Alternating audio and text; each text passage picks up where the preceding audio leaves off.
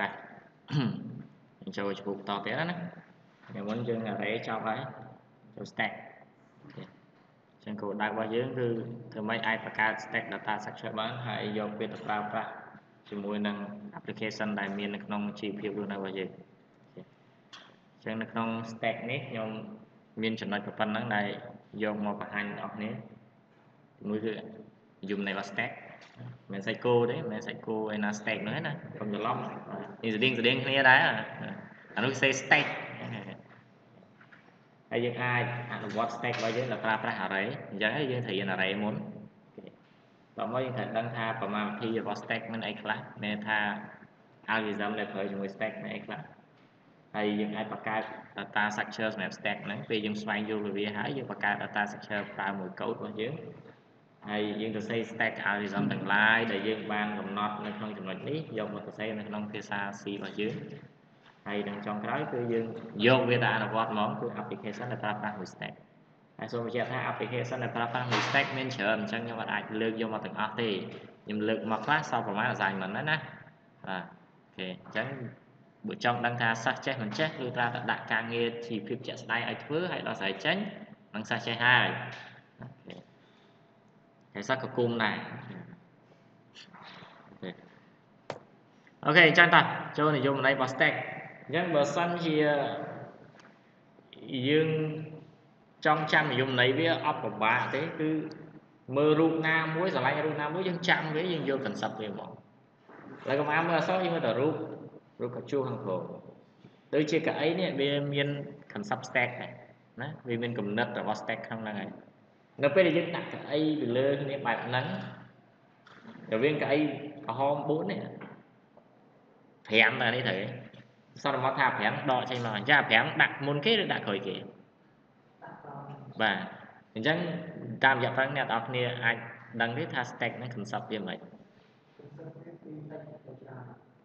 មែនទេអីអត់ទេយើងអាចនិយាយបានថា សម្រាប់ stack item ដែលដាក់ចូលមុនពេលចឹងដកចេញវិញដកចេញក្រោយគេបាទកៅមួយមួយចាត់ទុកជា item ហើយហើយមកសំណុំដែលយើងត្រួតកៅចូលគ្នាហ្នឹងគេហៅថាជា stack មួយហ៎ចឹងយើងឃើញកៅអីចឹងយើងដាក់ម្ដងមួយដាក់មួយចឹងមកមួយទៀតដាក់ពីលើកៅអីមួយស្មើនឹង item មួយយកកៅអីមួយទៀត item ទៀតដាក់ចូលប្លុកដាក់បន្តបន្តបន្តបន្តបន្តមួយទៀតស្រែកស្រែករបស់យើង ស្រែកម៉ាក់ប៉ាយើងនិយាយយើងយកទៅវត្តអីណាមិនដែរស្រែកអាណាអាណាដកអាក្រមអាអាចង្ហាន់នឹងក្រមកើតទេពេលយើងដាក់យើងដាក់អានោះមុនគេមែនណាអាស្រែកមួយនៅស្រែកមួយនៅខាងក្រោមគេបន្តបន្តដល់ពេលចង់បានអាស្រែកក្រោមតដកម្ដងមួយដងមួយម្ដងមួយសតតែ concept stack ចានយើងអងថ្ងៃឲ្យតាណារៀបលើគ្នាវាមិនដែរណាតដកអាក្រោមស្រួលអីមិនចឹងបាទដូចចានហ្នឹងពេលដកវិញដកពីលើមកវិញដាក់ដាក់ពីក្រោមឡើងទៅលើដកដកដកពីលើចុះមកក្រោមវិញ សភៅយើងកើលើគ្នាក៏មានលក្ខណៈ stack សាក់ stack ទាំងអស់នោះអាអឺកែវហ្នឹងកែវយើងកាហ្វេអីហ្នឹងពេលអ្នកលក់ណែគាត់ណាគាត់ទៅដកអាក្រោបតែឃើញណាហើយសិត concept stack អត់ហើយឧបករណ៍ក្មេងលេងហ្នឹងក៏សិតតែ concept stack ពេលយើងដាក់ចូលសូថាយើងដកអាក្រោមការួចទេបាទអាក្រោមវាជាប់នឹងថ្មអីហ្នឹងនេះអានេះរបស់តម្រអញ្ចឹង យើងដាក់យើងដាក់ដាក់ពណ៌ខៀវចូលពឹបដកដាក់ពណ៌ខៀវពណ៌បៃតងពណ៌លឿងពណ៌ក្រហមសួរថាតដកអាពណ៌ខៀវមុនអាក្រហមកាទេអត់កើតទេអញ្ចឹងសរុបមកវិញស្អីគេជា stack អ្វីដែលខ្ញុំនិយាយដល់មកនេះវាជាគំនិតដែលផ្ដល់ឲ្យយើងដើម្បីដឹងថាស្រួលចាំហើយដឹងថាវាធ្វើម៉េចអញ្ចឹងអានេះអានេះជា real world របស់យើងជាជាបញ្ហាក្នុងពេលបច្ចុប្បន្នដែលយើងឃើញនឹងផ្នែកជាក់ស្ដែងខ្លួនឯងណាយើងធ្វើរួចអស់ហើយតែគ្រាន់តែថា នៅក្នុង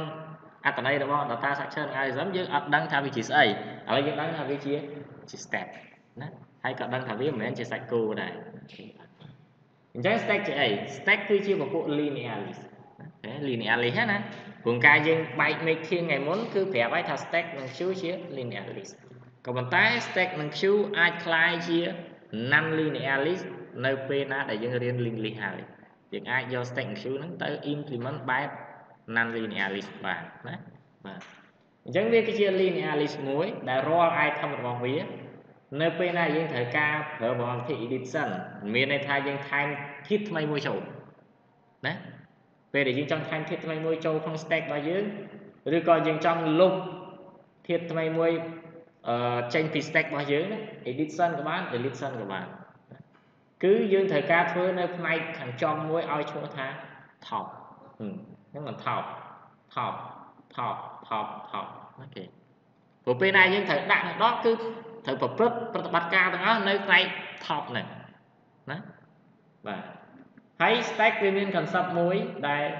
follow ឈ្មោះថា LIFO បើយើងចង់ចាំថា stack ជាអីយើងថាអាហ្នឹង concept LIFO last in first out ចូលក្រោយគេចេញមុនគេបាទណា last in first out ណាគេ អញ្ចឹងឲ្យតែវា stack ឃើញតែ LIFO តែ stack ណាគេបាទគឺវារបស់ដែលចូលក្រោយចេញមុនឬរបស់ដែលចូលមុនចេញចេញក្រោយអញ្ចឹងមានន័យថាម៉េចមានន័យថាដូចខ្ញុំនិយាយមកចឹង last thing ណាធាតុដែលចូលក្រោយគេដែលយើង add ហ្នឹងអញ្ចឹងធាតុដែលយើង add ទៅចូលក្រោយគេយើងប្រើពាក្យថា push យើងនិយាយយើងថាបញ្ចូលអញ្ចឹងណាតែពាក្យបច្ចេកទេសនៅក្នុងប្រមាណវិធីរបស់ stack ពេលដាក់ item ថ្មីមួយចូលក្នុង stack គេប្រើពាក្យថា push យើងកំបកថារុញកំបកថាអីគាត់ថាគេនិយមប្រើ concept ហ្នឹងអស់ហើយដើម្បីកុំឲ្យថ្ងៃក្រោយយើងទៅប្រើមុខរបស់គេប្រើ library របស់គេប្រើភាសាផ្សេងឃើញពាក្យ push អត់ដឹងអីគេហេអញ្ចឹង push ដូច add ហ្នឹងណាដូចយើង add item ថ្មីមួយចូលអញ្ចឹងអញ្ចឹងសរុបមកវិញគឺធាតុដែលចូលក្រោយគេ មានថាធាតុដែល push ក្រោយគេគឺជាធាតុដំបូងគេបង្អស់ដែល pop ចេញមុនគេវិញអញ្ចឹង pop ហ្នឹងមានន័យថាម៉េចមានន័យថា delete ឬក៏យើងនិយាយថាទាញវាចេញមកវិញអញ្ចឹងសរុបមកវិញដាក់ចូលគឺ push ដកចេញគឺ pop okay ហើយ concept របស់វាគឺ LIFO last in first first out ចូលក្រោយចេញមុនឬនិយាយថាចូលមុនចេញចេញក្រោយ okay ចឹងនេះជាឧទាហរណ៍ឧទាហរណ៍ណាបាទ okay អញ្ចឹងហើយសូមប្រាប់អ្នកទាំងអស់គ្នាថាកុំព្យាយាមប្រៀបធៀបវាទៅឲ្យដូចអ្នកផ្សេងខ្ញុំថាមិនគ្រូ stack ដល់ array អញ្ចឹង array ដាក់ធាតមុនគេគឺនៅ index 0ប្រហែលថា array យើងមាន5ធាតធាតចុងក្រោយស្ថិតនៅ index ទីប៉ុន្មានទី4ណាអញ្ចឹងដល់ពេលយើងចង់បានធាតទី1 ត្រូវរក a index 0មកចង់បានធាតចុងក្រោយត្រូវរក a index ទីទី4ហើយពេលដាក់នៅក្នុង memory វានៅតាមលំលំដាប់ចំណែក stack នេះក៏វានៅតាមលំដាប់ដែរគ្រាន់តែពេលដែលយើងធ្វើការទាញវាមកប្រើវិញគឺត្រូវបញ្ជាពីក្រោយមកមុខវិញ ដែលយើងប្រើពាក្យថា top ណាតាមពិតនៅក្នុង memory ពេលយើងយក stack ទៅ store ទៅវាត្រង់ចឹងទេ វាគ្មានអាណាទៅបាក់ជើងចិត្តទេតែគាត់ថាចង់ព្យាយាមឲ្យយើងយល់ជាមួយនឹងតតិភាពជាក់ស្ដែងដូចកៅអីដូចអីអាណាយើងទៅប្តេកចេះយើងដាក់អញ្ចេះមិនចឹងហ៎នឹងពេលយើងដាក់ទៅយើងដាក់លើលើលើហ្នឹងផ្នែក top ហ៎ពេលដកដកពី top ហ្នឹងមកមកវិញណាចង់និយាយចឹងទេអូខេអញ្ចឹងបើអត់មានអីឆ្ងល់ទៅទៀតហើយណាទេហើយរូបនេះគាត់តែចង់ប្រាប់ថាពេលដែលយើង input យើងប្រើពាក្យថា push ពេលដែលយើងទាញវាចេញវិញយើងប្រើពាក្យថា hop អូខេហើយទីតាំងនៃ process គឺនៅផ្នែកផ្នែក top អូខេដឹងដែរអានេះគេអត់ប្រើ pool គេប្រើ pop ចឹងអ្នកនរគ្នាអាចយក stack របស់យើងទៅ implement ដោយប្រើ array បានណាអូខេអញ្ចឹងនៅពេលដែលយើងត្រូវការ store stack ដោយប្រើ array មានន័យថាធាតុនីមួយៗរបស់វានៅក្នុង stack ណាធាតុមួយមួយយើងត្រូវភូកចូលណាបាទធាតុមួយមួយយើងត្រូវភូកចូលហ្នឹងនឹងត្រូវបាន store នៅនៅក្នុង address របស់ array ដោយចាប់ដើមពីធាតុទី1រហូតដល់ធាតុទី n ដូចគ្នាឬអាចនិយាយថាចាប់ដើមពី index ទី0ដល់ index ទី n ដល់1ដូចគ្នាណាពេលដែលវាយើងយើងយើងយើងនិយាយគ្នាបញ្យល់យើងបញ្យល់ចេះនិយាយថា stack នេះដាក់ផ្នែក top ដកផ្នែក top តែដល់ពេលយើងយក array មក implement ព្រោះថា first item នេះវាត្រូវនៅនេះអ second item នេះវាត្រូវនៅនេះអ third item នេះត្រូវបន្តបន្តចឹងតែអញ្ចឹងដល់ពេលឧមាថាយើងក្នុងករណីនេះខ្ញុំ push 6ដង push item 6ដងឧទាហរណ៍ថាខ្ញុំយកកៅអី6ដាក់ត្រួតលើគ្នាដងមួយដងមួយមកអញ្ចឹងបើនៅក្នុង memory គឺទីតាំង top នៅអាលើគេអញ្ចឹងមានន័យទីតាំង top ស្ថិតនៅ index ទីប៉ុន្មាន index ទី5ណាដោយសារយើងដាក់6កៅអីចូលមិញណាអញ្ចឹងគ្រាន់តែគេយក array យកមក store ទេ វាសួរថាអីចុះគ្រូមានអត់យកអាផ្សេងយកទៅ store ហើយយើងទៅមាន array ហើយអញ្ចឹងយើងយក array មក store ដើម្បីបង្កើតបានជា concept ថ្មីមួយទៀតដែលការដាក់ចេញនិងការដកការដាក់ចូលនិងការដកចេញនៃធាតុណាមួយចេញពី stack របស់យើងគឺប្រព្រឹត្តនៅផ្នែកផ្នែក top ណាអញ្ចឹងពេលដែលអ្នកនរគ្នាប្រើប្រាស់ stack ដើម្បីយកទៅដោះស្រាយបញ្ហាត្រូវរមើលថាតើបញ្ហានោះវារបស់ដែលដាក់ចូលមុនគេដកចេញក្រោយគេអត់ បើសិនជាបញ្ហាដែលមាននៅក្នុងបច្ចុប្បន្នភាពរបស់យើងវាអត់ដាក់ចូលមុនគេហើយវាអត់ដកចេញក្រោយគេទេកុំប្រើ stack អសោះព្រោះវាអត់ត្រូវអត់ត្រូវរឿងវាធម្មជាតិរបស់វាវាអត់ត្រូវអញ្ចឹងណាបាទបើសិនជាបញ្ជីធម្មតាធម្មតាយើងប្រើ array ធម្មតាទេណាបាទតែដល់ពេលដូចកៅអីដូចអីអញ្ចឹងវាចូល concept stack ឧទាហរណ៍មួយទៀតសំបីតែ browser របស់យើងក៏ប្រើ concept stack ដែរនៅពេលដែលកន្លែង back និង force ប្រហែលយើងចុចយើងចូលហ្នឹង facebook.com អញ្ចឹងណាឃើញលើ Facebook មាន link មួយទៅកាន់ YouTube អញ្ចឹងមិនចុចចូល YouTube មកមក replace លើអា Facebook ហ្នឹងអត់ពេលឃើញ YouTube ហើយឃើញ Twitter ចុច Twitter ទៀតតែដល់ពេលយើងចុចអា back មកវិញវាបតង់ forward និង backward នៅខាងលើអញ្ចឹងពេល back មកវិញសួរថាចេញពី Twitter មកអីគេមក YouTube មិនមែនមក Facebook ភ្លាមទេបាទអញ្ចឹងហ្នឹងឯងសិតជា concept stack ហើយពេលដែលយើង visit មានថាយើងចូល website ណាមួយហ្នឹងក្នុង browser យើងគឺ history របស់វាគឺរក្សាទុកជាលក្ខណៈ stack ហើយចង់ចុច history ក៏យើងចុចបានដែរមិនចឹងក្នុង browser ពេលពេលយើងឃើញ history យើងឃើញអាណាក្រោយគេនៅលើគេឃើញទេអញ្ចឹងចង់ចេះចង់ដាក់ចេះ ចង់ដាក់ដូចអាហ្នឹងនេះនេះចង់ដាក់ដូចអាហ្នឹងណាបាទឲ្យឃើញវាឃើញវាឈរអញ្ចឹងព្រោះពេលបង្ហាញមនុស្សណាតែមើលប្តីចេះវាអត់បានច្រើនទេព្រោះវាឈរជាងអាច scroll បានអញ្ចឹងអញ្ចឹងសូម្បីតែ history របស់ browser របស់យើងក៏មាន concept stack ដែរអញ្ចឹងពេលហ្នឹងមកដល់ត្រឹមនេះយើងត្រូវញែកឲ្យដាច់រវាង array និង stack ដល់ពេលឲ្យប្រៀបធៀបភាពខុសគ្នារវាង array និង stack សាថាគ្រូមិនខុសគ្នាបើគ្រូឯងយក array ទៅ បង្កើត stack មានសាស្ត្រធ្លាប់សួរខ្ញុំអញ្ចឹងឲ្យខ្ញុំប្រៀបធៀបខុសគ្នាមិនបើគ្រូឯងយក array ទៅបង្កើត stack ហ្នឹងឆ្ងល់មានអារម្មណ៍ឆ្ងល់ដូចពួកគាត់មុនមុនណាឬក៏អត់ឆ្ងល់ទេធម្មតាទេពេលណាដែលយើងចង់បង្កើត data structure មួយខ្ញុំតែប្រាប់គឺយកអា data structure ដែលយើងមាន built in data structure ឬក៏ data structure ណាមួយយើងធ្លាប់រៀនយកមកបង្កើតរបស់ថ្មី វាមិនដែរអាណារបស់ថ្មីមួយហ្នឹងអូឯងកើតកើតកើតដែរបើមិនយកអាចាស់យកទៅប្រគំមកបានថ្មីឥឡូវបើធ្វើផ្ទះបើមិនប្រើស៊ីម៉ងប្រើអិតធ្វើកើតដែរអញ្ចឹងដល់ពេលឲ្យព្រាធិបផ្ទះនឹងអិតព្រាធិអត់កើតទេមិនមិនត្រូវព្រាធិអត់កើតអិតគឺជាផ្នែកមួយនៃផ្ទះបាទឥតគឺជាសមាសភាពសំមួយដែលសំឲ្យបានផ្ទះមួយនឹងឡើងអញ្ចឹងអាហ្នឹងដូចគ្នាបើប្រៀបធៀបភាពខុសគ្នាប្រៀបធៀបបានថា array គឺជាសមាសភាពសំគ្រឹះសំខាន់មួយដើម្បីបង្កើតបាន unstack បាទបើ array នៅពេលណាយើងចង់ដកពេលយើងដាក់ធាតុណាមួយចូលយើងធ្វើម៉េចយើង access ទៅកាន់ index direct ហ្មងយើងអាចចល័តបានកន្លែងគ្រប់កន្លែងមែនទេយើងមិនថាអូខ្ញុំត្រូវផ្ដើមតម្លៃធាតុទី1ត្រូវតែមុនធាតុទី6គេអត់មានកំណត់អញ្ចឹងទេអរ៉េអត់កំណត់ទេមែនទេ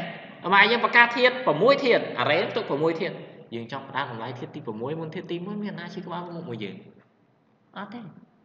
វាហាក់ដូចយើងបង្កើតថតថតតបមួយ6ទៅយើងចង់ដាក់សភៅថតលើគេមុនក៏មានន័យថាអីគេមានថាអូអ្នកឯងត្រូវតែដាក់ថតក្រុមគេមុនតែបើឡើងជា stack វិញបើថតនឹងបង្កើតលក្ខណៈជា stack វិញជាប់សោសោនៅលើចឹងត្រូវតែដាក់ថតចុងក្រោយមុនបានបើកថតបន្តបន្តកើតហ្នឹង stack បាទអញ្ចឹងយើងត្រូវចេះចែកវាដាច់អញ្ចឹង បើអរ៉េគេអត់ខលទេមានថាហាក់ដូចជាថតតក់មួយមួយគឺមានសោមួយមួយរៀងខ្លួនចង់ដាក់ចូលថតតក់មួយណាចាក់អាសោហ្នឹងដាក់ទៅបាទតែបើសិនបើ stack អត់តែសោវាគឺនៅផ្នែកខាងលើផ្នែក top នេះខ្ញុំប្រៀបធៀបទៅទៀតណាដូច top ចឹងអាសោណាអញ្ចឹងនៅពេលចង់ដាក់ធាតចូលថតណាមួយត្រូវតែបើកអាផ្នែក top ហ្នឹងវាថាបើកអាថតលើដូចគេមកអញ្ចឹងកុំឲ្យមន្ទិលសង្ស័យថា array និង stack ចែកគ្នាមិនដាច់បើ array បកកើត stack អត់ទេវាជាសមាធិផ្សំគ្រឹះរបស់ stack ក៏ប៉ុន្តែពេលគេយកមកប្រើក្នុង stack គេអត់ប្រើដូចក្នុងដូចក្នុង array ទេអូខេអញ្ចឹង operation របស់វាមានប៉ុណ្ណឹងហើយតាមពិតទៅអាចមានមួយទៀតសភៅថ្មីឥឡូវដូចជាមានមួយទៀតមាន operation មួយទៀតឈ្មោះថា peak មិនជ្រូកទេ P double E K កំពូល បើយើងនៅក្នុងខ្សែកោង peak ហ្នឹងគេហៅចំណុចអតិបៈបរមាបាទ peak ហ្នឹងគឺសម្គាល់ top ហ្នឹងឯងពេលខ្លះនៅក្នុង stack អឺ operation ទាំងអស់នៅក្នុង stack នៅពេលណាណាដែលយើង push មានន័យថាបញ្ជីរបស់យើងកើនមួយធាតុ push ម្ដងណាបាទចំណែកឯ pop គឺបញ្ជីរបស់យើងថយថយមួយធាតុចុះពេលខ្លះគេអត់ចង់ដកធាតុនឹងចេញទេ គេគ្រាន់តែយកធាតុនឹងមកប្រើហើយ បញ្ជីនៅតែប៉ុណ្្នឹងដែរអញ្ចឹងហើយដែលឥឡូវនេះគេបង្កើតប្រមាណវិធីទេគឺ peak បាទមានថាយើងប្រមាណវិធីហ្នឹងគឺយក item របស់ stack ដែលនៅលើកំពូលគេតែអត់អត់អត់អត់លុបវាចេញពី stack ទេគ្រាន់តែយកមកទេមានថាយើងដូចតែ copy យកមកអញ្ចឹងណាណាអាហ្នឹងគឺ peak អញ្ចឹងចាំយើងចូលទៅផ្សេងទៅទៀតអញ្ចឹងធម្មតាទេយើងបង្កើតឃ្លាំងណាមួយយើងតែងតែឲ្យវាទៅទេសិន ដោយគេសាំងសងអាគារមួយមិនដែលណាសាំងសងបារ៉ាត់ដាក់កៅអីក្នុងហ្នឹងមកអញផ្សងព្រៀងកលឹងកៅអីហ្នឹងវាមិនដែលទេណាព្រោះគេបង្កើតវាឲ្យហើយសិនបានគេដាក់របស់ចូលអញ្ចឹងដូចយើងដូចគ្នាដើម្បីទៅសេកូដបង្កើត stack យើងបង្កើតអានុគមមួយ empty stack ណាអញ្ចឹង empty stack មានទូនាទីបង្កើត stack ទៅទេថ្មីថ្មីមួយឬក៏វាមានសមត្ថភាពធ្វើឲ្យ stack ដែលពេញហ្នឹងទៅជាទៅទេអញ្ចឹងទូនាទី empty stack មាន2កូដដែលយើងសេក្នុង empty stack វាដើរ2 បើ stack ហ្នឹងអត់ទាន់បង្កើតវាបង្កើត stack ថ្មីមួយបើ stack ហ្នឹងបង្កើតឲ្យមានទៀតវា clear item នៅក្នុង stack ហ្នឹងចោលណាបាទ push គឺបន្ថែមធាតុថ្មីមួយចូលចូល stack hop ដកធាតុចេញមួយចេញពី stack អញ្ចឹងដល់ពេលដកគឺ stack ថយធាតុហើយណាហើយបើសិនប្រមាណវិធី pick គឺយកធាតុ item ដែលស្ថិតនៅ កំពូលគេនៅផ្នែក top ហ្នឹងតែអត់ដកចេញពីពី stack ទេណាគ្រាន់តែខ្ចីខ្ចីខ្ចីវាមកប្រើដូចយើងកីឡាករបាល់ទាត់គេខ្ចីកីឡាករអញ្ចឹងណាណាបាទអញ្ចឹងកីឡាករវានៅតែជារបស់ក្លឹបនោះទេគ្រាន់តែខ្ចីជើងទេណា is empty stack គឺជាប្រមាណវិធីសម្រាប់ត្រួតពិនិត្យថាតើ stack យើងទៅទេឬក៏អត់ព្រោះហេតុអីបើយើងត្រូវ check អញ្ចឹង ព្រោះវានឹងយកទៅប្រើនៅពេលណាដែលយើងដកធាតុចេញពី stack ហើយចេះតែដកមិនយើងមើល stack នឹងអស់ធាតុអីចេះតែដកទៅបាទហ្នឹងអត់កើតទេណាតាសាក់ឈើអត់មានចេះតែតពីតពីឲ្យគេលូកលាន់បានតាមចិត្តទេបាទបាទបើខ្ញុំមានរបស់ហ្នឹងអ្នកឯងលូកយកចុះតែបើអត់មាន no ប៉ះមិនបានផងអញ្ចឹងបើមានអាប្រៀបធៀបថាតទេក៏មានអាប្រៀបធៀបថាពេញដែរព្រោះដោយសារយើងប្រើអរេ ដោយសារតែយើងប្រើអរេទើបមានអនុគមនេះកាត់ឡើងអរេពេលដែលយើងបង្កើតត្រូវតែប្រាប់ចំនួនធាតុច្បាស់ច្បាស់លាស់អញ្ចឹងមកយើងបង្កើត stack ដំបូងយើងចង់បាន stack ទៅបាន30ធាតុហើយអញ្ចឹងអរេដែលនៅខាងក្នុងហ្នឹងអរេមិនជាសមាធិគ្រឹះរបស់ stack វាទៅបានដល់30ធាតុអាចចូលបើអ្នកនឹងលេខពួយថែមដល់ធាតុ31យើងឲ្យចូលក្នុង stack កាត់ដែរបាទអញ្ចឹងត្រូវត្រួតពិនិត្យនៅពេលដែលថែមធាតុថ្មីមួយ push item ថ្មីមួយចូលគឺត្រូវតែ check វាមើលថាតើវា full stack ដែរហើយឈ្មោះទាំងអស់ហ្នឹងអ្នកទាំងអស់គ្នាចង់ដាក់មិនដាក់ទៅណាខ្ញុំគ្រាន់តែដាក់ជាឧទាហរណ៍ឲ្យទេតែដាក់ទៅឲ្យវាត្រូវ meaning ផងកុំអត្តន័យថា stack គេប្រើ push pop ឯងចូលប្រើ add delete ទេណាអត់ខុសទេចូលធ្វើទៅឲ្យយល់ខ្លួនឯងទៅណាបាទអត់ថាមិនទេអត់មានថាអីទេព្រោះថាអីពេលប្រអញខ្លាចអញសរសេរទៅមិត្តភក្តិអញមើលអញលួចដូរពាក្យ pop ដាក់ delete អត់ខុសទេតែប្រយ័ត្នវេខ្លួនឯង size of stack ដើម្បីរាប់ថាតើ item នៅក្នុង stack របស់យើងមានមានប្រមាណនៅក្នុង array អាចរាប់ចំនួនធាតុបានទេរាប់បានអត់អរិចបើឆ្លើយថាបានត្រូវមានហេតុផលថាវាបានកុំឆ្លើយបានឬទៅគ្រូថារាប់បានទេចំមិនទេអាចឥឡូវក្នុង array រាប់ item បានអត់ បើបានបានយ៉ាងម៉េច array រាប់ធាតុអត់បានទេហេតុអីបើខ្ញុំនិយាយថារាប់ធាតុអត់បានអ្នកអត់ថារាប់បានប្រហែលជាគិតថាប្រកាសមកមកថា array មាន8ធាតុថាហ្នឹងមាន8ធាតុអញ្ចឹងឯងចឹងមែនតែមិនអញ្ចឹងទេណា8ហ្នឹងគឺជាចំនួនសរុបរបស់មិនមិនចំនួនសរុបរបស់ item ចំនួន ទំហំសរុបរបស់ array ដែលវាអាចទុកធាតុបានច្រើនបំផុតគឺ8ច្រើនបំផុតតែពាក្យថារាប់នៅទីនេះគឺរាប់បច្ចុប្បន្នភាពរបស់បញ្ជីហ្នឹងតើតើវាមានប្រមាណទៀតឧមាថាយើងបង្កើត array 8ទៀតតែឥឡូវយើងទៅដាក់បាន3ទៀតហ្នឹងអញ្ចឹងចំនួនធាតុនៅ array មិនមែន8ទេ3ឃើញអត់បាទ8ជា maximum តែ3គឺជាចំនួនធាតុបាច់បច្ចុប្បន្នដែលមានក្នុងបញ្ជីណាកុំច្រឡំគ្នា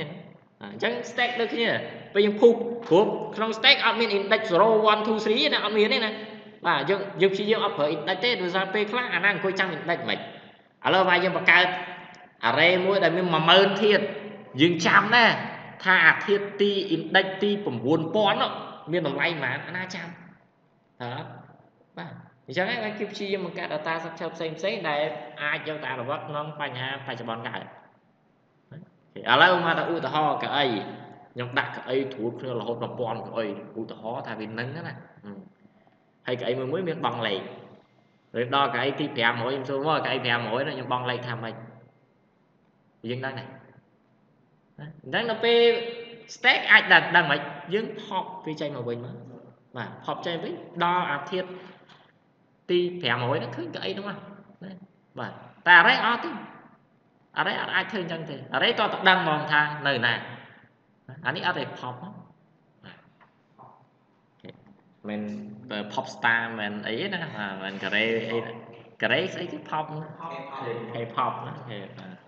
អានេះអត់មាន k pop ទេ stack pop បាទអូខេអញ្ចឹងខ្ញុំឧទាហរណ៍បើយើងងាយយល់ណាបាទអញ្ចឹងឧទាហរណ៍ថាខ្ញុំបង្កើត stack មួយដែលខ្ញុំឲ្យឈ្មោះថា in stack យើងដាក់ឈ្មោះដាក់ទៅស្រេចចិត្តទេណាខ្ញុំសម្គាល់ថា in stack របស់ខ្ញុំនេះ ជា stack ដែលវាផ្ទុកធាតុនីមួយៗមានប្រភេទជា in integer ដែលមានទំហំសរុបតែ4ទេព្រោះឧទាហរណ៍ខ្ញុំឧទាហរណ៍តិចតិចស្រួលយើងឃើញថាពេលណាពេញពេលណាអត់ទាន់ពេញណាណាដែលធាតុនីមួយៗជា integer អញ្ចឹងសួរថាតើនៅពេលខ្ញុំប្រើប្រមាណវិធីទាំងអស់នេះសន្តានភាពណាស្ថានភាពរបស់ stack របស់យើងមានរូបរាងម៉េចណាអញ្ចឹងពេលខ្ញុំ empty stack ដំបូងមានថាខ្ញុំព្យាយាមបង្កើត stack ថ្មីហ្នឹង អញ្ចឹងវាហាក់ដូចជាអត់តមានអីទេអញ្ចឹងពេលប្រឡងអ្នកនរគ្នាបើពាក់ព័ន្ធមួយមាន stack គឺត្រូវធ្វើអញ្ចឹងគ្រាន់តែឲ្យយើងយល់ជា concept ទេណាបើចង់បានស្អីកូដខ្ញុំចេញអាចចេញមានស្អីកូដតែចិត្តណាបាទអញ្ចឹងប្រមាណវិធីនេះមួយវាហាក់ដូចជាយើងនៅក្នុង stack នេះ in stack របស់យើងនេះគឺអត់មានធាតុអីទេណា ទីតាំង top គឺស្មើដក1មានថាអត់តន់ដាក់ចូលទេព្រោះ index របស់ array ដែលមាន index ដក1ឯងអត់ទេអញ្ចឹងហើយដែលខ្ញុំយក top ស្មើដកដក1បាទហើយ size of state របស់យើងបច្ចុប្បន្នភាពរបស់វានេះគឺ0ខ្ញុំនិយាយបច្ចុប្បន្នភាពដឹងដែរនេះនិយាយភាសាបច្ចេកទេសអ្នកត្រីរាជការអត់ដឹងអីចឹងយូរយូរឯងនឹងត្រឡប់ចឹងដែរណា តោះមកយើង push push 26ចូលអញ្ចឹងវាហាក់ដូចវិញដូចដូច animation ខ្ញុំធ្វើឲ្យមើលមិញគឺអាធាន21ដាក់ចូលក្លឹបអញ្ចឹងទីតាំង top របស់យើងគឺប្រហែលស្មើ0បាទស្មើ0មិនមានន័យថាអត់ធាតទេស្មើ0មានន័យថាធាតទីទី1អញ្ចឹង size of state គឺមានមួយធាតពេលខ្ញុំ push មួយទៀតគឺដាក់បន្តអញ្ចឹង26ហើយ10 15អញ្ចឹង stack របស់យើងគឺមាន2ធាតុហើយទីតាំង top របស់វាគឺ1 ពេលដែលខ្ញុំ push ថែមមួយទៀតឡើងទៅទៀតណាអញ្ចឹងតាមហ្នឹង stack ថាចំនួនធាតុ3ទីតាំង top ស្មើ2អញ្ចឹងពេលប្រឡងអ្នកនរគ្នាត្រូវឲ្យច្បាស់លាស់ថាទីតាំង top ពេល push ឬក៏ pop ហ្នឹងទីតាំង top ស្មើប្រមាណហើយទំហំប្រមាណព្រោះយើងបាននិយាយក្នុងយមន័យហើយគឺ operation របស់វាទាំងអស់ប្រមាណវិធីពាក់ព័ន្ធនឹង mistake ប្រព្រឹត្តទៅនៅផ្នែកមួយហៅថា top អញ្ចឹងទីតាំង top គឺសំខាន់នៅក្នុង stack សំណួរគេសួរអត់ទីតាំង top ហ្នឹងឯង ដល់ពេលខ្ញុំអនុវត្តអានេះវិញ x ស្មើ pop in stack ពេលដែល pop អត់មានត្រូវដាក់ធាតចូលទេ pop គឺដកមានថាយើងមានធាតអីយើងដាក់ធាតចូលទៅអីណាអញ្ចឹងគឺយើងដាក់តែតែបញ្ជីទេពេលដែលយើងភូកយើងដាក់ធាតុថ្មីយើងចង់ដាក់ចូលតែពេលយើងផប់មិនដាក់ទេហើយបើដាក់អញ្ចឹងវាដឹងថាបើដឹងថាផប់អាហ្នឹងឯងដាក់បំកាច់យកអីឃើញទេអញ្ចឹងវាទៅជា array វិញទេអញ្ចឹងណាពេលដកដកពេលដកចុះនេះដកមិននេះ នេះនេះអានេះពេលភូកមិនតបានផប់ពេលដាក់ចូលដល់ពេលដកវាដកអាដកដកអាលើគេបាទឃើញខ្ញុំឃើញខ្ញុំខំធ្វើ animation ដកអាលើចេញវិញហ៎អញ្ចឹងទីតាំង top ក៏ត្រូវថយតាមនឹងដែរ top ស្មើ1វិញហើយ40 offset ស្មើដល់ពេលហើយអា19នេះអញ្ចឹងយកធ្វើអីធ្វើតានេះទីពេលនេះខ្ញុំគ្រាន់តែឧទាហរណ៍ថាយក x ស្មើអញ្ចឹងយកទៅធ្វើអីធ្វើទៅអូខេឥឡូវតោះដល់ទៀត តោះឥឡូវយើងបង្កើតវាយើងយល់ពីវាហើយយើងដឹងពីចលនាការរបស់វាថាចេញពីណាទៅណាអីសចលនាការទៀតមើលគីមីហើយភូកវាទៅមិនថប់វាទៅមិនទីតាំងថប់នៅណាអញ្ចឹងនេះណាយើងអាចបង្កើត data structure របស់ stack តាមរយៈកូដបែបនេះណាបង្កើតទំហំសរុបឲ្យវាទៅប្រមាណព្រោះដោយសារតែអាហ្នឹងវាវា fix វាហៅថាជាបញ្ជីមួយដែល fix ហើយតែប្រាប់ថាឃ្លាំងហ្នឹងមានផ្ទុកបានច្រើនប៉ុន្មានតែមិនមែនមានន័យថាបង្កើត outfit ហ្នឹងអត់បានបង្កើតបានខ្ញុំប្រាប់ចឹងគឺយក link list យកទៅទៅធ្វើជាសមាសធាតុផ្សំសំខាន់របស់វាមិនមែនយក array ទេតែ link list យើងអត់តរៀនខ្ញុំបង្កើតឲ្យយើងមិនខ្មិចទេចុះខ្ញុំឆុំ AP យើងជួបហើយហើយបើអ្នករៀនមួយខ្ញុំបច្ចុប្បន្ននេះគឺពេលអឺ data structure 2អូខេបាទ ពួកយើងឆ្នាំទី1ឆ្នាំទី2ណាបាទចេះតែច្រឡំគ្នាច្រឡំមក associate អាចុចចុចហ្នឹងថាយើងដាក់ម៉ាក់ដាក់ទៅជាចំនួនធាតុសរុបដែលយើងដាក់បាទខ្ញុំដាក់20យើងថាត្រូវដាក់20ឡូហើយចុះខ្ញុំចង់ទុក10000មិនកើតអញ្ចឹងណាបាទអញ្ចឹងចុចចុចជាចំនួនធាតុសរុបចំនួនអតិបរមាណានៃធាតុនៅក្នុង stack របស់យើងដាក់មកចុច pi dash ទៅនេះចុចចុចទៀតណាទៅនេះមិនមែនចំនួនទេជាប្រភេទនៃ item របស់យើងបើសិនជាយើងយក stack យកទៅផ្ទុកតួអក្សរមួយតួតនឹងអីដាក់អីគេតនឹងដាក់អីបើសិនជាយើងយើងយក stack នេះទៅផ្ទុក item នីមួយមួយជាតួអក្សរមួយតួដាក់ឆា C A E អូខេបាទចង់សួរអីមកសុផាតចង់សួរអីមែន និយាយឆើអូខេអញ្ចឹងខ្ញុំដាក់នេះខ្ញុំព្យាយាមបង្កើតវាឲ្យទៅជារូបមន្តទូទៅដូចការយើងរៀនកណិតចឹងអញ្ចឹងបើសិនខ្ញុំដាក់នេះ in ដាក់នេះឆាមានន័យថា stack ធ្វើបានតែឆាតែបានតែ in ចឹងអត់ទេទុកចុចចុចឲ្យអ្នកនរនេះយកទៅប្រើតាមការគួរបើចង់ប្រើមួយ in ទៅនេះដាក់ in ចង់ប្រើមួយឆាដាក់ឆា double double ហើយបើចង់តំណប្រើជាពពួក structure ផ្សេងទៀត ដូចជា student បាទ work ណា chair ចានស្រាក់ខ្ញុំធ្វើអង្គមិនមិនមិនជាកំសត់របស់ stack ហា link visit របស់ browser ហ្នឹងសុទ្ធតែជា structure ថ្មីដែលយើងបង្កើតយកមកធ្វើកំសត់ stack អាណាផ្សាយមិនមានណាបាទសូមជំរាបផ្សាយមិនគឺចាប់ចប់មាន stack ហ្នឹងគឺបោះផ្សាយមិនឲ្យហើយអត់ ដូចមើលមាន statement អាអាបញ្ហាបច្ចុប្បន្នមានអីខ្លះមិញឆ្នាំឆ្នាំឆ្លងមានហ្នឹងអត់ឆ្លងមានឆ្នាំហ្នឹងបាទឡើយឡើយឯកសារ2563ហ្នឹងបន្តមកទៀតយើងខាត់ reference ទៅ reference search ទៅកុំដាក់ដល់ខ្ញុំពេកគេដាក់ណា struct stack ថាយើងចង់ដាក់ពាក្យអីពាក្យទៅខ្ញុំសូមបញ្ជាក់ឲ្យចាក់ទៀតណារឿងពាក្យនេះដាក់អីដាក់ទៅរឿងមកជាងទេយើងចង់ដាក់ stack ទៅយើងដាក់ I love you ដែរទៅមានថាអីទេវាទៅដល់ប្រកាសធាតអឺគេប្រកាស variable ហ្នឹងមែន I love you st គេឈ្មោះ st ហ្នឹងពាក្យកាត់ឈ្មោះសង្សារគេនោះណាធ្វើមិនទេណាតែចិត្តវោគេថាអី ពេលខ្លះចង់ដូរអញ្ចឹងណាដូរអីទៅតែអញ្ចឹងសមាសធាតុផ្សំសំខាន់របស់ stack គឺមាន2ព្រោះដោយសារយើងធ្វើអីមួយនៅទីតាំង top អញ្ចឹងត្រូវមាន top អញ្ចឹងកន្លែង top នេះខ្ញុំអត់ប្រើចុចចុចទេព្រោះចំនួនអាហ្នឹងជាលេខ index index ត្រូវតែជា int integer បាទអត់កើតទេដាក់ float មកទៅអី index ដែរមានលេខគ្រាអត់មានទេណាអូខេខ្ញុំផ្ទុញលេងណា ចឹងនៅពេលក្រោមនេះគឺជា element ថៃខាងលើនេះអញ្ចឹងអ្នកទាំងគ្នាមានសិទ្ធិសម្រេចខ្លួនឯងថាខ្ពើមសរសៃអានេះក៏បានដែរតែខ្ពើមសរសៃណាខ្ពើមសរសៃអានេះមកអានេះដាក់ច្បាស់លាស់ខ្លួនឯងទៅអានោះវាគ្រាន់តែជារូបមន្តតាងតែយើងដាក់ច្បាស់ខ្លួនឯងពេលយកទៅប្រើណាអូខេអញ្ចឹងអានេះចង់តាំងពាក្យលីសតាំងទៅចង់តាំងស្អីផ្សេងទៅតែខ្ញុំខ្ញុំសុំតាំងថាលីសដើម្បីបញ្ជាក់ថាអាហ្នឹងជាបញ្ជីផ្ទុកអាយហើយធំហើយយកតាម max stack ដែលបានពីពីលើពួរដោយសារហេតុដោយសារអានឹងទៅដាក់ max stack ទៅហ្នឹងព្រោះ array បង្កើតមកត្រូវតែប្រាប់ចំនួនទៀតត្រូវអត់បាទអញ្ចឹង max stack យើងកំណត់ទៅនេះហើយទៅនេះទៅសេ max stack ទៅព្រោះថ្ងៃក្រោយយើងចង់ដូរយើងដូរតែនៅលើនេះចំនួនទៀតណាបាទបើសិនជាយើងទៅសេតម្លៃលេខនៅនេះមកពេលយើងចង់ដូរយើងត្រូវមកដូរនេះរហូតអញ្ចឹងអត់ទេខ្ញុំលើកយកទៅដាក់លើឲ្យទៅវិធីទី1 វិធីទី2អ្នកទាំងអស់គ្នាអាចប្រើបច្ចេកទេសបែបនេះបច្ចេកទេសនេះគេហៅថារៀងលុយមុនទេអាមុននេះអ្នកថាទំរៀន C ដំបងរៀងចវីចវើចវើធ្វើអាមុនណាអានេះមកថាគេអឺកយ៉យជិះចេះ pointer អីណាខ្ញុំបានបរៀន pointer ដែរណាមិនមែនអត់ទេណាអញ្ចឹងខ្ញុំសង្ឃឹមថាប្រើយើងប្រើទី1ក៏បានប្រើទី2ក៏បានវិធីទី2នេះគ្រាន់បើជាមិនតិចទេមិនគ្រាន់បើខ្លាំងទេគ្រាន់បើខ្លាំងថាយើងមិនចាំបាច់កំណត់ចំនួន ឃើញទេនេះយើងមានបានកំណត់ចំនួនអត់អានេះមិញគឺយើងត្រូវតែប្រាប់ថា max stack ហ្នឹងស្មើបាទអានេះអត់ទេបងឯងចង់ដាក់បានដាក់មកបងណាបាទក៏ប៉ុន្តែឡើងកើនមួយកើនត្រូវមាន capacity មួយណាអូខេអញ្ចឹងមានន័យថាខ្ញុំអត់តសេនេះវាទៅកើនកើនចូលអានេះវិញឃើញទេបាទអញ្ចឹងនៅក្នុងខ្លួន stack ត្រូវមាន capacity មួយ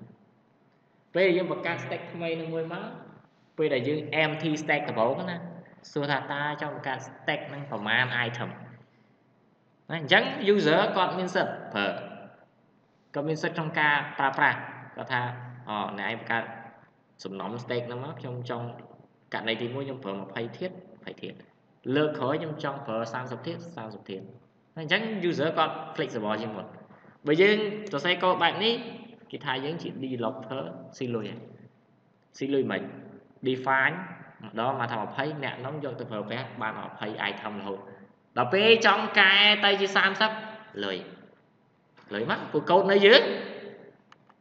នេះអា define នៅក្នុង stack អត់អត់ទេ define នៅលើណាហើយអ្នកប្រើប្រាស់ចេះកូដមកណាហើយគាត់កែពី30ទៅ20យកឯង200ឡាអាហ្នឹងគឺអញ្ចឹងតែបើយើងប្រើអានេះ គេហៅថាធម្មតាទេ developer ច្រើនគេដេញជើងគ្នាដែរឥឡូវក្រុមហ៊ុនខ្ញុំខ្ញុំបង្កើត stack ចេះបងឯងចំណាយលុយតែម្ដងឯងលើក្រោយពេលបងឯងយកទៅប្រើក្នុង operation ផ្ទាល់ចង់ដាក់20 20 30 30 60 60ចង់ពី60មក10 10 40ចិត្តទៅសុំគេទៅយ៉ាងណាតែទី2ហ្នឹងចាសាច់បាយជាអេខាងខាងបាយជាអូខេ អញ្ចឹងដល់ពេលយើងប្រើបែបនេះគឺក្នុង stack របស់យើងគឺវាមាន3 3ធាតុប្រើបែបនេះក្នុង stack របស់យើងមានតែ2ទេមានទីតាំង top និងបញ្ជីអានេះគឺមានទាំង top ទាំងបញ្ជីមានតែ capacity មួយទៀតហើយមានអ្នកនរមានចាប់អារម្មណ៍ថាការសរសេររបស់ខ្ញុំពីអាមួយនេះមកកាន់អាមួយនេះខ្ញុំសរសេរ style 2ផ្សេងគ្នាចាប់អារម្មណ៍ធម្មតាតែឃើញថា style 2ផ្សេងគ្នាណាបាទអូខេខ្ញុំសរសេរនៅនេះ ប្រភេទតន័យខ្ញុំដាក់នៅនេះបាទតែសរសេរនៅនេះប្រភេទតន័យខ្ញុំដាក់នេះខ្ញុំចង់ប្រាប់គ្នាយើងថាបើយើងសរសេរអាបែបទី1មានថាយើងប្រាប់ប្រភេទមុនហើយបានតែយើងបង្កើតសមាសសមាសទីផ្សំបើយើងប្រើតាទី2យើងប្រមូលសមាសទីផ្សំមកសិនខ្ចប់ដាក់ B មួយឲ្យឈ្មោះថា stack stack ថាតើនេះអញ្ចឹងយើងសម័យមើលបើសិនអ្នកនរនេះប្រកាសតាមនេះវាអត់ខុសទេគាត់ថាតែប្រកាសថាអាហ្នឹងហើយគឺអាហ្នឹងមកជីវិតហើយបា ទនេះអត់ទេរបស់នេះយើងអាចប្រមូលយកខ្ចប់ដាក់ឈ្មោះផ្សេងបានតាហើយអ្វីនៅល្អមួយទៀតក្នុងភាសា C programming ពេលដែលយើងប្រកាសបែបទី1នេះពេលដែលយើងត្រូវហៅកូដកូដ variable របស់ state ម្ដងម្ដងណាយើងត្រូវផ្ដើមនៅពាក្យ struct នៅពីមុខ struct ហើយ state struct state struct state ពីរហ្នឹងស្មើមួយថាយតែដល់ពេលយើងប្រើបែបនេះមានន័យថាយើងលេងហៅប្រើ struct ទេដែរយើងហៅឈ្មោះយកមក តែ student គឺ student មកមិនចាំ struct student ទេតែក្នុង C++ អាហ្នឹងអត់ប្រយោជន៍វិញក្នុង C++ ប្រកាសទី1និងប្រកាសទី2មិនដាក់ពាក្យ struct បានដូចដូចគ្នាខ្ញុំប្រាប់ឲ្យហើយបាទព្រោះសារភាសា C++ វាចេញក្រោយ C អញ្ចឹង C+ គឺថាអូអា C កោអាអញ្ចឹងក៏ប្រកាន់ដែរចាំបាច់ struct អីច្រើនហើយចង់ប្រកាសបែបទី1ក៏មិនចាំ say struct ប្រកាសបែបទី2ហៅប្រើក៏មិន say struct ណាអូខេ យើងចូល operation មួយណាអូខេ empty stack អញ្ចឹងខ្ញុំសរសេរ2ហ៎ខ្ញុំសេតាមបែបព្រោះដោយសារតែខ្ញុំបង្កើតបន្តសាច់ខ្ញុំឲ្យពីរផ្សេងគ្នាវាស្តៀងគ្នាមិនផ្សេងដាច់ហ្មងឯងមួយពីរអញ្ចឹងពេលដែល operation មួយមួយក៏អាចទៅសេពីរផ្សេងគ្នាបានដែរបាទទេបាទបើនឹងចាំមកថាវាមានកន្លែងល្អកន្លែងមិនល្អវាពេលខ្លះយើងចង់សេខ្លីខ្លះសំសេវែងអញ្ចឹងណាអាតែចិត្តទេតែមើលអាណាល្អជាងណាពេលដែលវារ៉ាន់ថាម ពេលយើងសេកូដយើងមាន2 compile time ជាមួយនឹង run time ជាទូទៅសិស្សចូលចិត្តអា compile time ល្អអត់ខ្ចោះហើយដល់ពេល run time ឯងមិនមិនដែរអាចខ្វល់ដែរតែពេលគេស្អីជាក់ស្អែកអត់ទេគេត្រូវគិតទាំងពេល compile time ទាំងពេល run time គេត្រូវ expect ថារំពឹងទុកថាលទ្ធផលគឺត្រូវតែចេញអញ្ចឹងបើមិនចេញអញ្ចឹងទេ code error ហើយ error compile នៅពេល compile ស្រួលទេណាវាប្រាប់អញ្ចឹង ពេលយើងសេ code ពេលយើងសេខុសដល់ពេលដែលយើងចុច compile វាប្រាប់តែបើយើងយើង compile ដល់អត់ error ពេលដែល run error គឺថាពេលដែល run error វាប្រាប់យើងអត់អត់ទេគាំងហ្មងខុសគ្នាអញ្ចឹង empty stack នេះគឺប្រើអនុគមមួយដែល page void ហើយយើងបោះនេះឃើញនេះឃើញទៅស្អីមាន struct ទេណាទៅស្អីថា struct stack កាយ s st អានេះចង់ដាក់ឈ្មោះអីទៅឈ្មោះអញ្ញាតទេណា បាទអញ្ចឹងមានថាមកដល់គឺឲ្យទីតាំង top ស្មើដក1ចប់រឿងអានឹង MT តទីតាំង top ស្មើដក1មានស្អីដកចេញ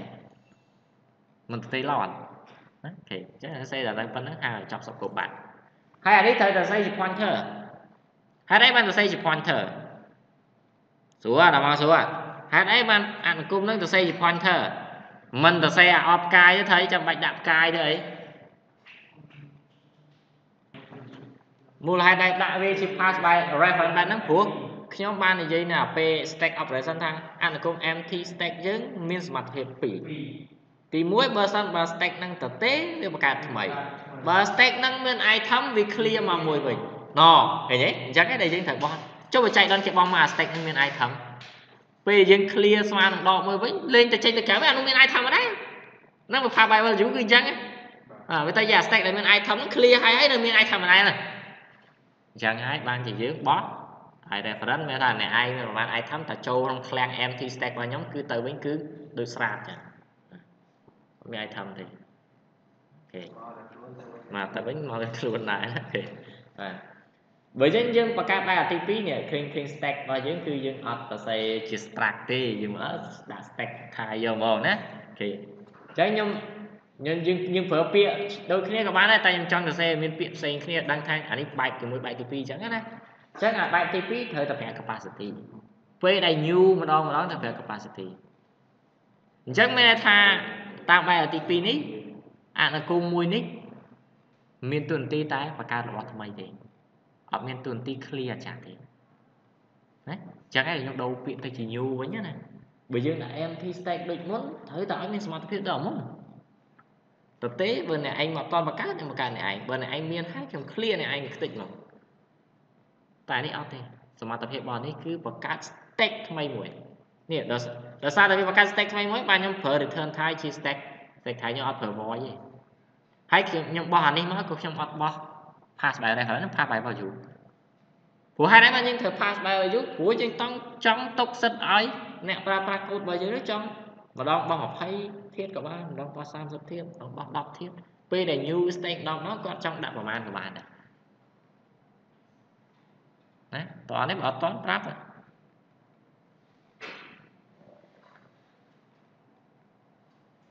silent is okay អញ្ចឹងនៅពេលការបង្កើតបែបនេះទៅសេបែបនេះគឺត្រូវតែមាន return type ជាប្រភេទ stack ហ្នឹងមានថា អានគម new stack នេះគាត់ព្យាយាមបង្កើត stack ថ្មីមួយដែលប្រទេ load ហ្មងស្រាបយកហ្មងបាទហើយបោះឲ្យទៅអ្នកខាងក្រៅអញ្ចឹងខ្ញុំត្រូវនៅក្នុងអានគមនេះត្រូវតែបង្កើត stack ថ្មីមួយព្រោះយើងបោះនេះយើងមានបានអានេះគេបោះ stack ចូលអញ្ចឹងបាទហើយយកមកកែសម្រួលបើ stack ហ្នឹងជារបស់ដែលថ្មីសាឡាគឺតទេបើមាន item clear ចោលបូលាចោលមក ដល់ពេលអានេះគឺមានបានបោះ stack អត់អត់ទេអានេះគឺមកប្រាប់ capacity ប្រាប់ថាខ្ញុំចង់បាន stack មួយដែលមានទំហំ capacity ខ្ញុំប្រើពាក្យអញ្ចឹងណាអញ្ចឹងបោះតែ capacity នេះអត់មាន stack អញ្ចឹងត្រូវបង្កើត stack មួយយក stack capacity ចេញពី capacity ដែលយើងបោះមកបន្ទាប់មកឲ្យទីតាំងខុសស្វែងរក11ហើយបន្ទាប់មក list របស់យើងដែលមានក្នុង stack ក៏ត្រូវតែ ប្រើប្រមាណវិធីនេះដើម្បី relocation ឲ្យវាមានទៅតាមទំហំ capacity នេះយើងមានថាយើងកំពុងតែបង្កើត array នៅក្នុង code កើត array នៅក្នុង code របស់អានគម new new stack បើយើងទៅសេបែបនេះគឺ array របស់យើងត្រូវបានបង្កើតដោយអូតូម៉ាទិកព្រោះយើងកំណត់តែ max stack ហើយគឺហើយ memory ជាអ្នកធ្វើឲ្យយើងតែដល់ពេលយើងទៅសេបែបនេះគឺត្រូវតែប្រើប្រមាណវិធីដើម្បី allocation អាហ្នឹងឲ្យទៅតាមទំហំ capacity របស់យើងហើយអ្នកនរចង់ស្អីញ៉ៃញ៉ៃគ្រូបាទបើថាញ៉ៃញ៉ៃចាំយកហ្មងទៅមើលមើលសួរថាគេបង្កើតឲ្យគេយកឲ្យគេគេយកឲ្យ list អញ្ចឹង list ហ្នឹងទំហំប្រមាណទំហំចេញពី size of element type element type គឺជាមួយ item item របស់យើង element size of element type នេះប្រមាណយកមកគុណជាមួយ capacity បើ element មួយ C 4បាយ capacity 20អញ្ចឹងតំណឹងតែបាន20គុណ24សំទៅ4គុណ20អញ្ចឹងវាឡើង8 80អញ្ចឹងអា80ហ្នឹង location 80ហ្នឹងនឹងត្រូវបាន convert មកជាប្រភេទ array នៃ element type ណា array នៃ element type ណាបាទវាខ្សែគ្នាហើយពេល review C pointer មួយអាចយកទៅ point array មួយបានហើយក៏បាននិយាយដែរថា ឈ្មោះរបស់ array គឺជា pointer point ទៅកាន់ធាតុទី1របស់ array អើហ្នឹងហើយធាតុ1របស់ array ណាមកទាំងអស់អាកោះអាហ្នឹងមកវិញទាំងអស់អញ្ចឹងយើងមើលអត់ជុលទេយើងផ្ញើ slide ទៅនឹងស្អីគ្រូអញញ៉ៃញ៉ៃដល់ហើយលេងចង់រៀនបានទៀតណាតែតាមពិតអាហ្នឹងយើងធ្លាប់រៀនរួចអស់ហើយណាគាត់តែចော့ត្រូវការបកការបក slide មួយដើម្បីបំភ្លឺដែរអញ្ចឹងពេលខ្ញុំបកកើទៅតាមទំហំ capacity ដែលបានហើយខ្ញុំ return stack ហ្នឹងទៅឲ្យគេវិញ ព្រោះពេលគេបោះមកគេស្នើមកគេស្នើ capacity ផលិត stack ឲ្យគេអានេះអត់ទេគេផលិត stack បានហើយតែគេចង់យក stack របស់គេទៅលាងឃ្លាំងចឹងឬក៏បង្កើតថ្មីដែរតែយើងបង្កើតតែសបកខាងក្រៅតែអត់មានធាតុណាមួយចឹងណាណាអូខេអញ្ចឹងមានអីឆ្ងល់សួរបើអត់សួរទេខ្ញុំបញ្ចប់ការ record ប៉ុណ្ណឹង